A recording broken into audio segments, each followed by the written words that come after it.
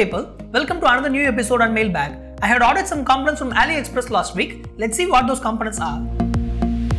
The package is a bit large. I'm sure it will be interesting. Let's open and check it out. There it is. Sensor kit for Arduino. There are 37 sensors inside the kit. I have ordered the kit to use it for my projects. Let's take a look at each of the sensors. There is an analog joystick. Uh, it has two potentiometers. I have an Arduino Nano board with me. By reading the X and Y voltages through the ADC channels, we would now be able to predict the coordinates of the joystick. When you move across left and right, you can notice the output of one of the potentiometers changing.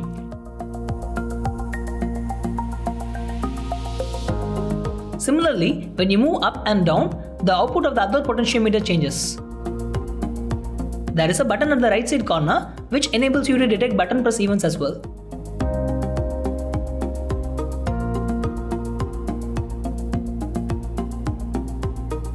Next is a relay. I wonder why they have included a relay inside a sensor kit. Let's see.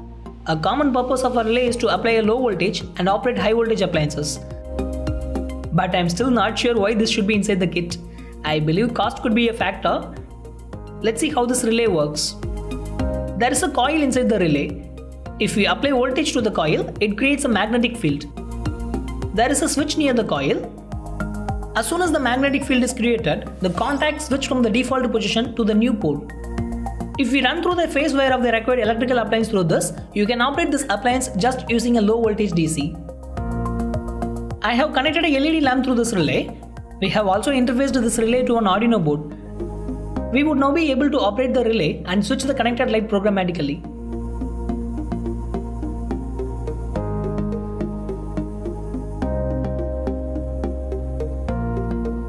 Was interesting.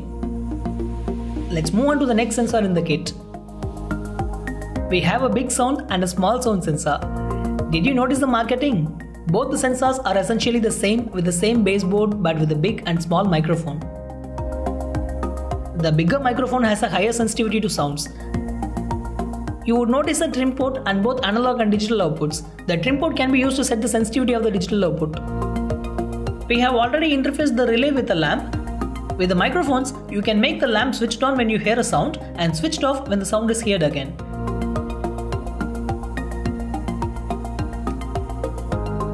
There are no limits to what you can do with this. The next on the kit is a tracking sensor. You would have come across this sensor in many student robotics projects. This has an infrared transmitter and an infrared receiver. If the transmitted infrared signal comes in contact with any object, it reflects the signal towards the receiver. Once we detect the received signal, we can do more. It also has a preset which can be used to control the sensitivity of the sensor. I have now interfaced the sensor with the Arduino. The receiver will not read the signal that is transmitted now, but as soon as I get a reflective object nearby, the receiver receives the signal and increases the voltage output. When the Arduino detects this, the relay can be switched on and off. Let's now take a look at this sensor, a white. This seems to be a different version of the tracking sensor we saw earlier. The difference is this works at a larger distance, nothing more. Next, there is a flame sensor. Let's see how this works. This too is an infrared sensor but has a higher sensitivity to lights in the 760 to 1100 nanometer wavelengths. This has a comparator IC with analog and digital outputs. You can adjust the trim pot to control the sensitivity of the digital signals. I have now connected the analog signal to an Arduino. Depending on the distance between the flame and the sensor, the output voltage will vary. Let's analyze the output at different distances. Let's see what happens when the flame is at a longer distance. Let's try a little closer. That's interesting. Next on the list is a Hall sensor. Using this sensor, we can detect the magnetic field. We will not go deep into the working principle behind this sensor, but let's see what we can do with this. I have interfaced this with Arduino. Since we already have a relay connected, let's see what happens when we bring a magnet near the sensor. Let's programmatically check if the lamp gets switched on.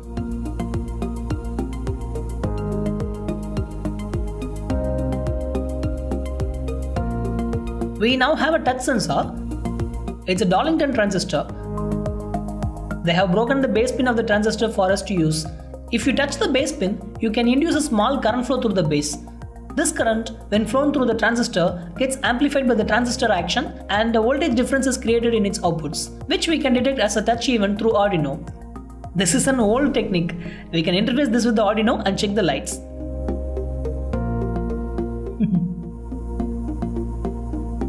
Next is a temperature sensor module.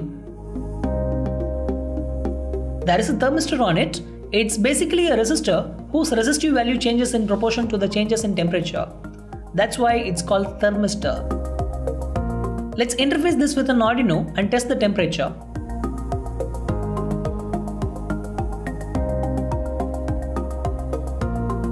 A buzzer is next on the list. Um, you can't call this as a sensor. Anyways, if it is an active buzzer, when you give a DC voltage, you get a tone at a certain pitch.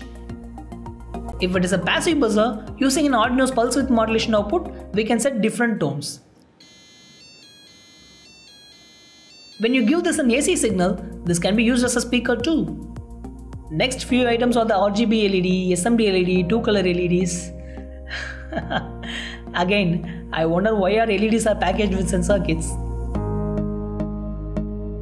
Let's see what's next. It's a reed switch.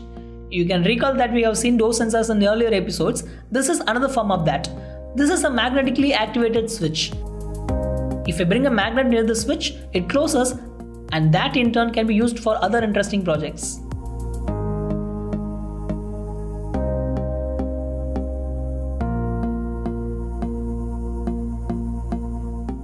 This is a mini reed. It's the same component but has been packaged in another PCB. You can see a heartbeat sensor. It contains an infrared transmitter and a phototransistor. Let's keep this LED on one side of our finger with the phototransistor on the other side. This makes the light flow through our blood and reach the phototransistor. Depending on the pulse, the light gets modulated and we can determine our pulse but the sensor was found to be defective and didn't work. Next is the laser emitter. This component again need not have been included in this kit. This is mostly used in keychains and toys. It contains an additional control pin which when connected to an Arduino's digital output, we can randomly switch the lights on and off. This is a button. Hey, I agree button is also a sensing device. But I don't know what to say clever marketing or let's move on. Next on the list is a shock sensor. We can detect shocks, vibrations, impacts using this. It contains two electrical contacts and a spring. When we give this a force, the spring touches the contacts and we get an output signal which when detected can be used to take other decisions. Let's try this by giving a force and see the relay is switching on and off. That works great. Now let's take a look at this rotary encoder. This can also be called a positioning sensor. We have covered it in detail in our slider project. You may refer to the links above. We now have a light cup sensor. There are two modules inside. It contains a mercury switch and a LED. The mercury switch contains electrical contacts. When we tilt the module, the mercury closes the switch. Upon detecting this change, we can control these LEDs through Arduino's pulse width modulation. When I tilt one mercury switch towards the other, we can create an effect as light flows through the other module. Let's see what happens.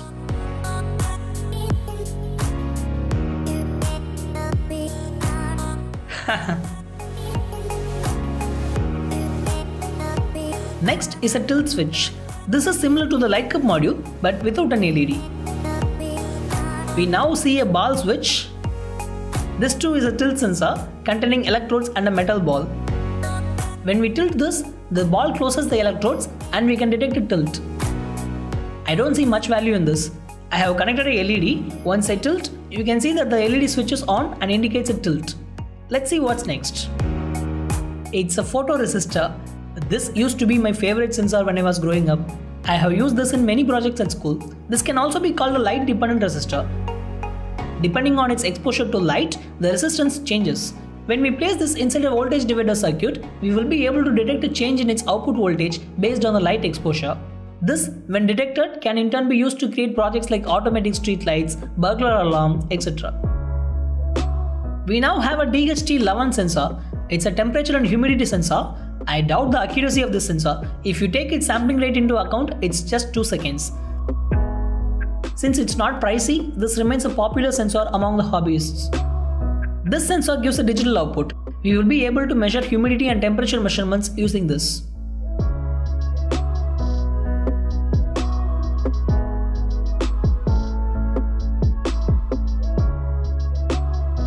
We see two Hall sensors next. We have already seen this before. We now have three Hall sensors in this kit. Back to another temperature sensor. It's a digital sensor. This can be interfaced using a one-wire interface. The sensor seems to be more accurate compared to other temperature sensors. Next is the analog temperature sensor. This is similar to the NTC tape sensor we saw earlier. There is an infrared transmitter and receiver you could notice these transmitters in your AC and TV remotes. When the button in the remote is pressed, a unique hexadecimal code is generated by the circuit, which then gets transmitted through the infrared. The signal received by the infrared receiver gets demodulated and sends electrical pulses to the Arduino. Once these pulses are converted back to hexadecimal codes, we can identify the codes for each of the remote buttons. When I press the button and I know the code, I can make my relay switch on and off.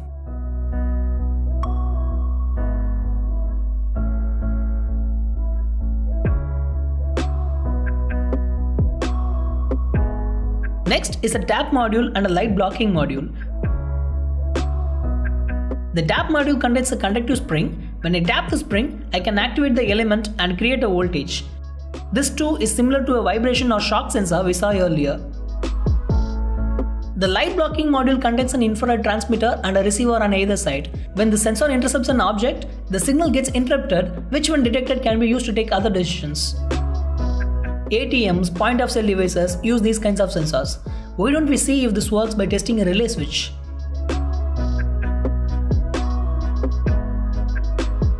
That's interesting. to buy these sensors as a whole kit or as separate components is up to you. If you wish to buy separately, you have the option to not only choose your preferred sensors but also at a lesser cost. That's it for this week. Next week, we will have more interesting components. Thanks for watching this video. Have a great weekend ahead.